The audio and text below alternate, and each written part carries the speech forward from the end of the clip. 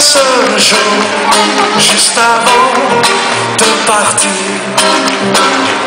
Je ferai l'idiot simplement pour écouter les gens rire. Et je resterai là sans rien dire pour mon dernier jour.